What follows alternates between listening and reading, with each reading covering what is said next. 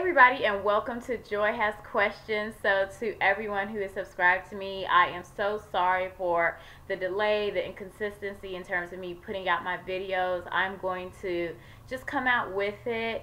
Um, I wasn't prepared for um, the interactions necessarily that I would receive on social media or on my YouTube channel. It definitely is not an excuse, but I just needed to take some time away um, because whereas on my Instagram page, Joi has questions, it was more so like networking, um, collaborating with different brands, you know, or speaking the same language I'm speaking in terms of black empowerment, woman empowerment, people of color empowerment, LGBTQ, you know, uh, empowerment YouTube is a completely different beast, a completely different monster, and it actually was at times like triggering my own anxiety disorder as well as triggering, you know, some key things with my um, insecurities just based on the fact that for every like, you know, comment that I have of accommodation and comment of like, girl, you're doing this, you're an educated black queen, I like the fact that you're witty, um, it was an equal reaction of you know at times people saying like really vicious things or I would make a statement and like people go like on a whole tangent tirade about how I was like a cunt bitch from hell. And you know at times some days you can deal with it other days you cannot. And even if it was somebody that was trolling me obviously had negative five followers clearly lives in somebody's you know catskill mountains or under a rock um, and I'm not saying Catskill in terms of white people. I'm saying like just some place that ain't nobody checking for. No one's ever like, you know what? I'm gonna take a, a vacation. I really been wanting to see like what the Appalachian Mountain Range looks like. No one says that. So at the end of the day, I just was really um, bothered at times by some of the statements or just people's inability to critically think. Um, that is something that is totally missing within the human species, and that's something that technology has taken away from us the ability to do. Social media has greatly impacted just common sense.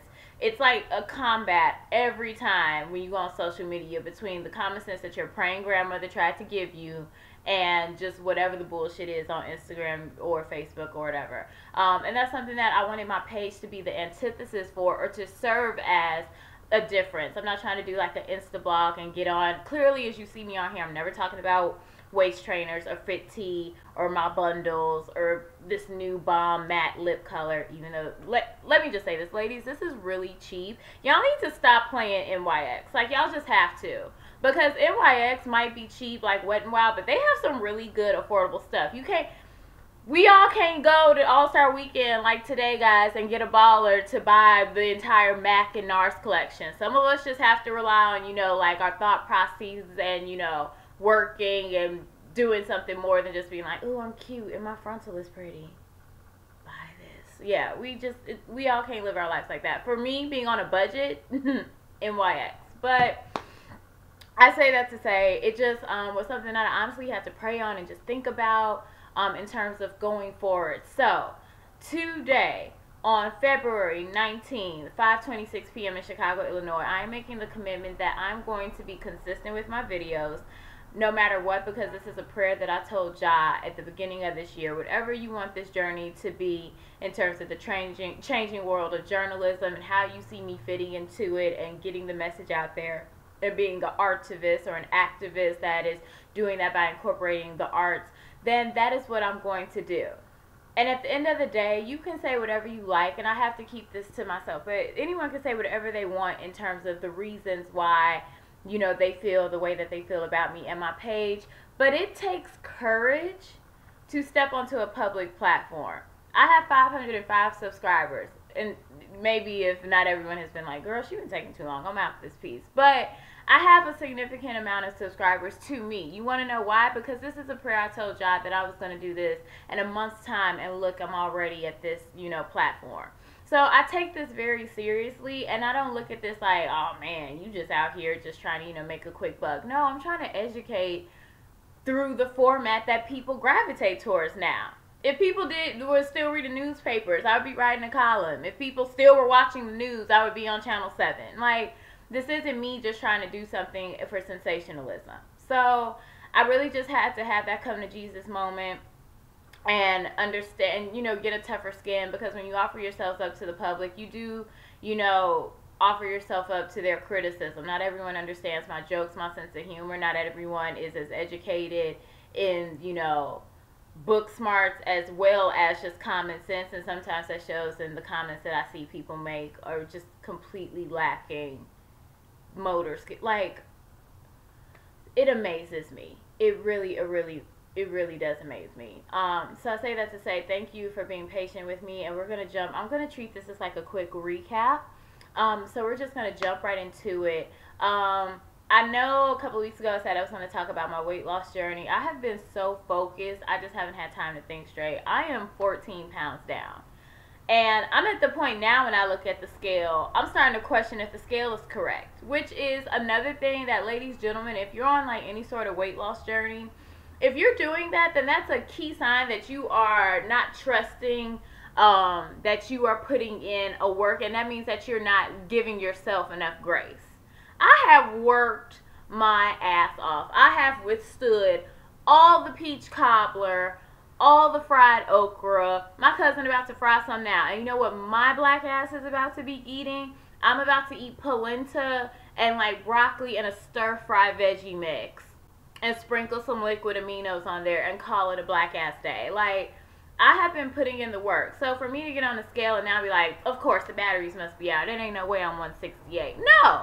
Joi is 168 and I'm going to celebrate it. I'm super happy about it. I have definitely been putting in the work. So to everyone, you know, who's been following my weight loss journey, I'm I'm slowly getting more comfortable to where I'm gonna do like the side by side picture, but I still don't feel like I'm there yet. But even now looking in the video, like I can see like my face is thinning out. Um and I'm not trying to do like the you know look, but I'm just saying like everyone always says you lose weight first and foremost in your face. And I, I can even see it. I'm like, okay, this triple chin is going to like maybe a little bit of like one and a half chin. So we're just going to keep going with it. And if nothing else, let me tell you something. With all the stress that we have going on in this world, I find that I'm finally in a space where it's the one thing that I can guarantee the commitment to myself and to my temple and to my body is something that I'm really, really excited about because it, it's a confidence that I've never honestly had in myself. Um, so the fact that I now I'm in a space where I'm like, you know what? I'm about to run this block and no one's going to tell me otherwise. And I'm very, very proud of myself. So for everyone who has like had questions or asked me about it, thank you very much. It's greatly appreciated. Um, so I'll let you know like where I'm sitting now. The only thing I will say this, as you all can clearly tell, I'm a confident woman in the sense of like body confidence when it comes to like certain body parts. Like it's genetics. This is a tank top. I can I can do this all day, and this is a tight tank top, and it's still just gonna drop down. It's genetics. My parents have, or my mother's side of the family is a very big, busted bunch of Southern praying Baptist Arkansas women. It just it is what it is. I can't do anything to help it or fight it. So with that being said, my boobs are getting smaller. And I don't know if this is a good thing or a bad thing. I feel like the best size my breasts ever were were like a C cup because they were like cutesy and I could still wear like fun tops and they didn't like just warble all over the place like they were dancing to their own personal yin yang song.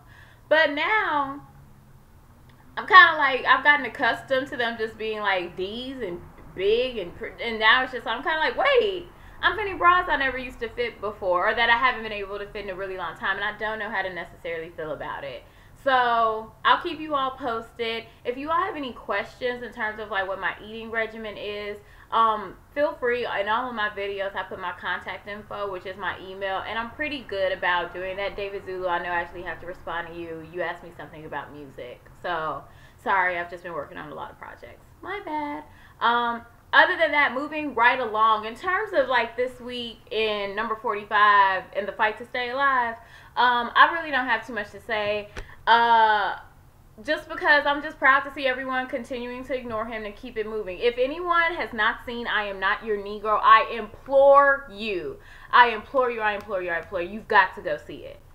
You've got to go. It is one of the best movies you'll ever see. And look at the amount of stunned white people that will be there with you. It's a great opportunity to actually be cohesive and to have those hard conversations because you have to think about it you didn't come into a movie talking about I'm about to see Fast and Furious 28 and The Rock is gonna be like skydiving off of Fuji Mountain in Japan in a Corvette. Like you knew the shit you were getting into when you bought the ticket. So it definitely opens you up to have like very honest race relations conversation class relation conversations within this country with people of the you know opposite racial groups that you wouldn't necessarily do that with because the sad thing is in being a race-based country like america we're always making assumptions about one another. It's, it's what we do. And that's why we're more divisive than ever because the jig is up and everyone sees it. But if you want to have a bomb ass sip tea and let's talk about the real, go see I Am Not Your Negro. There's a section where James Baldwin explains like the concept of the word nigger and how if white people are the ones that invented the words and its projection about how they feel about themselves, not actually people of color. My lip gloss drop. Like it was it was just like I can't take this. It's too much. So I really really enjoyed that. I think you all could tell the sun just went down. I see like level changes in the video. Sorry. Um, also, I promise you all, I'm going to get the camera set up. I've just been super, it's been a combination of me being lazy slash scared as fuck because this camera and all the equipment and additives that came with it totaled me to like 3000 And if I mess this up, mm, I will kill someone. So I want to make sure I have all my ducks in a row because I'm not like at times the most technically proficient person. Sorry. Um, and then last but not least, what I have got to got to discuss I had to take three full, like deep bosom inhalations of my inhaler because I I was high on like vegan cheesecake when I heard this because it was like the one sweet I allowed to myself in the past couple weeks. And I'm scrolling through the interweb and then I see James Earl Jones. Now my heart instantly went into oh god, not him too. Because I knew about this live action remake that was being done of The Lion King like earlier last year when it first popped up and I was like this is my favorite Disney movie. If you fuck this up I will kill you. But then to see that he signed on to be Mufasa again I don't give a damn about your kids I don't care about your baby mama's kids your wives and fathers, mothers, husband, brother, son, sister, lover, homie, friends. I don't care about nobody's children. I don't even care about adults.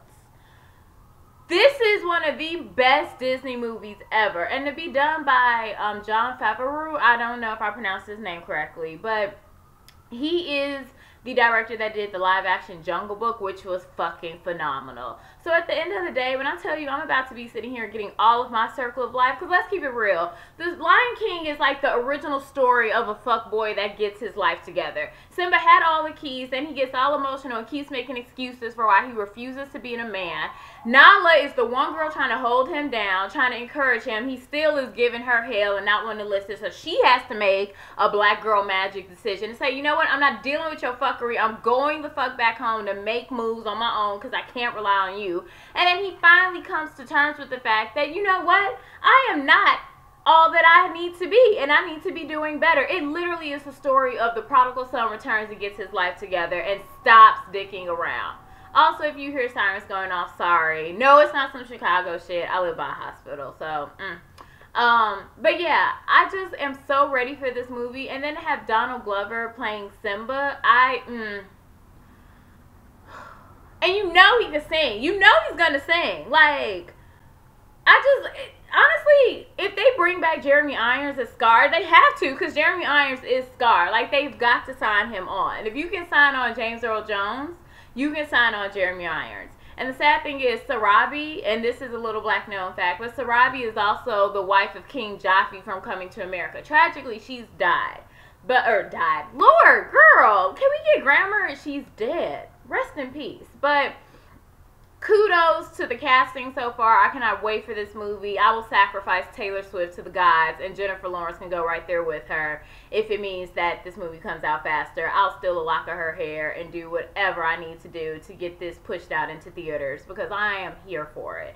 Um, that's pretty much everything that's been going on with me. Be sure to follow Joi Has Questions on IG. That's where I do like a lot of more of my like short little witty quips about like commentaries on social, political, economic bullshit that's happening around the world, as well as celebrating people of color who are doing bomb stuff.